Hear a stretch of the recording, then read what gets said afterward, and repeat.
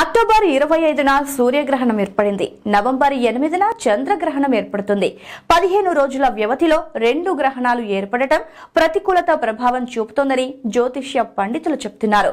చంద్రగ్రహణం భారతదేశంతో పాటు ఉత్తర దక్షిణ అమెరికా ఆస్ట్రేలియా ఆసియా ఉత్తర పసిఫిక్ మహాసముద్రం హిందూ మహాసముద్రం ప్రాంతాల్లో ఈ గ్రహణం వీక్షించొచ్చు.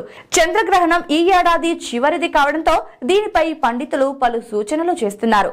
చంద్రగ్రహణం సాయంత్రం ఐదు గంటల ముప్పై నిమిషాల నుంచి ఆరు గంటల పంతొమ్మిది నిమిషాల వరకు గంటన్నర సేపు పడుతుంది.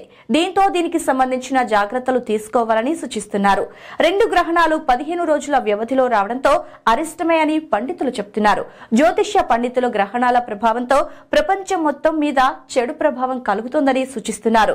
ప్రకృతి వైపరీత్యాలు పెరగనున్నాయి. వాతావరణంలో ఆకస్మిక మార్పులు సంభవించే అవకాశం ఉంది. దేశాల మధ్య ఆందోళనలు తీవ్ర స్థాయికి చేరనున్నాయి. రెండు దేశాల మధ్య సరిహద్దు వివాదంపై గొడవలు చెలరేగవచ్చు. వ్యాపార వర్గాలపై కూడా ప్రభావం చూపనుందని పండితులు చెప్తున్నారు.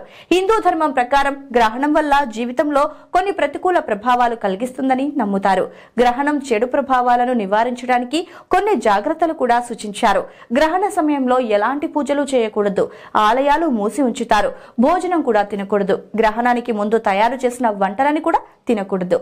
మిగిలి ఉంటే పడేయాలి.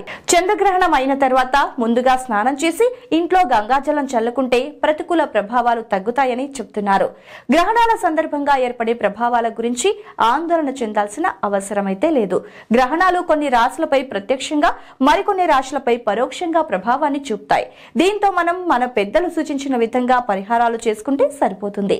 అంతేకాని అనవసరంగా ఆందోళనలు చెందాల్సిన అవసరం లేదు. గ్రహణ సమయంలో కొన్ని జాగ్రత్తలు తీసుకుని చిన్నపాటి పరిహారాలు తీసుకుంటే గ్రహణ ప్రభావం మనపై పడకుండా చూసుకుంటే సరిపోతుంది. చూసారు కదండి? మరి ఈ వీడియో కనుక మీకు నచ్చినట్లయితే ఒక లైక్ కొట్టేసి మీ అభిప్రాయాన్ని కూడా కామెంట్ బాక్స్లో తెలియజేస్తూ ఇలాంటి ఇంట్రెస్టింగ్ అప్డేట్స్ కోసం మా ఛానల్ని సబ్స్క్రైబ్ చేసుకోండి.